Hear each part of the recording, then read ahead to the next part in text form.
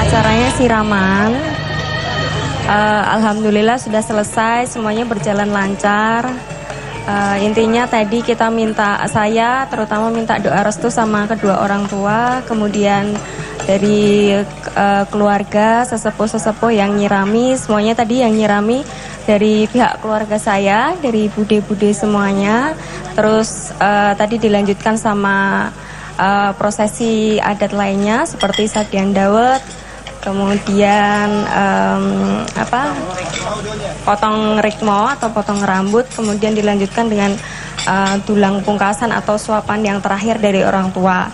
Kalau untuk siang ini uh, ritual adatnya cuman itu aja. Kemudian nanti malam kita lanjutkan acara midodareni yaitu dari pihak pria nanti ke pihak putri untuk menyerahkan lamaran atau seserahan. Itu aja. Minta doanya aja. Semoga uh, semua prosesi sampai hari H besok bisa berjalan lancar. Semuanya uh, bahagia mengikuti proses ini.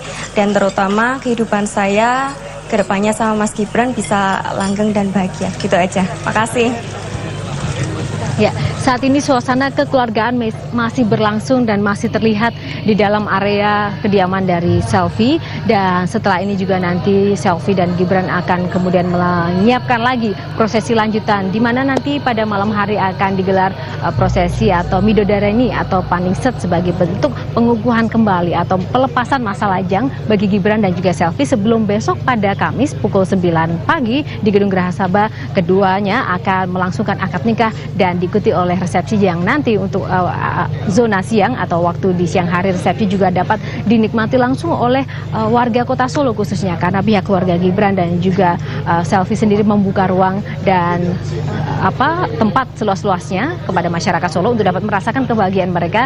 Karena sebelumnya juga mereka sempat menyatakan baik uh, Gibran Selfie maupun juga kedua belah pihak keluarga menyampaikan rasa terima kasih mereka. Dan untuk uh, membalas budi terhadap segala dukungan dari masyarakat di sekitar rumah rumah selfie Gibran dan juga di uh, gedung area Geraha Sabah yang rela untuk dapat uh, ditutup jalan akses transportasi maupun jalan lalu lintas maupun juga toko-toko mereka juga rela uh, mereka menutup dengan sukarela maka besok juga pihak keluarga dari Jokowi dan Selfie sendiri juga mengundang masyarakat untuk bersama-sama dapat merayakan resepsi di siang hari. Nah, uh, ya, tadi sudah dijelaskan ya agendanya nanti akan ada midodareni dan uh, sebelum besok akan ada akad dan juga resepsi pada malam hari begitu ya.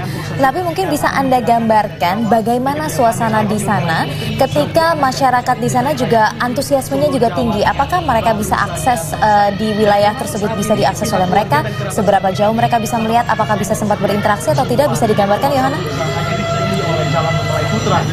Ya, Salah satu hal yang memang menjadi fokus dari pernikahan Gibran dan Selvi adalah tema kesederhanaan, kemandirian, dan juga kedekatan dengan masyarakat. Artinya jika dulu Gibran sempat menyatakan bahwa ada rencana dari rumah ke gedung dengan mungkin naik beca, tapi ternyata tiba-tiba diubah menjadi jalan kaki. Agar apa? Agar selain memang menunjukkan uh, uh, bahwa lokasinya dekat, tapi ada makna di sini bahwa pihak mempelai pun juga ingin lebih dekat dengan masyarakat yang pastinya akan diberikan ruang seluas-luas tepatnya di pinggir jalan untuk dapat menunggu eh, para keluarga dan juga kedua mempelai untuk berjalan kaki dari rumah menuju ke gedung. Dan untuk akses warga sendiri di sekitar lokasi uh, dari kemarin saya lihat dan saya pantau dari sesi tembungan sampai dengan pagi ini tadi juga tidak ada larangan bagi warga di sekitar rumah Gibran maupun selfie untuk mendekat. Bahkan kemarin juga sempat menyalami Presiden Jokowi ketika Presiden Jokowi beserta keluarga uh, menuju ke rumah selfie dengan berjalan kaki. Presiden sempat menyapa masyarakat dan masyarakat juga sempat uh, menyatakan antusiasme mereka ingin melihat Presiden Jokowi yang berasal juga dari Solo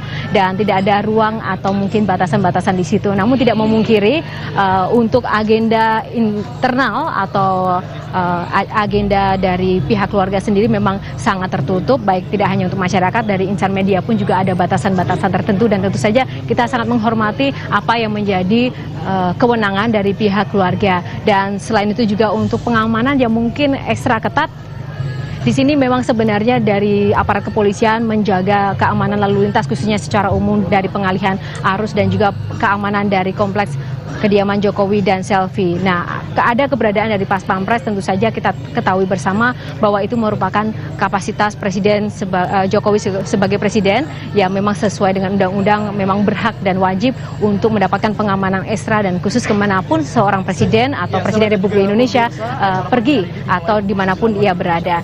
Dan sekali lagi Kartika dan juga pemirsa bahwa antusiasme dan juga euforia dari masyarakat di Solo juga memang sampai saat ini terasa dan kita nanti akan lihat bagaimana perkembangan-perkembangannya sampai besok hari resepsi atau puncak acara akan resepsi dilaksanakan. Kita lihat uh, masyarakat juga banyak yang uh, banyak yang mengatakan bahwa mereka akan bersama-sama juga berkumpul berbondong-bondong di sekitar lokasi untuk dapat memberikan ucapan selamat secara langsung menunggu Gibran berjalan kaki dari rumah menuju gedung Geraha Sabah.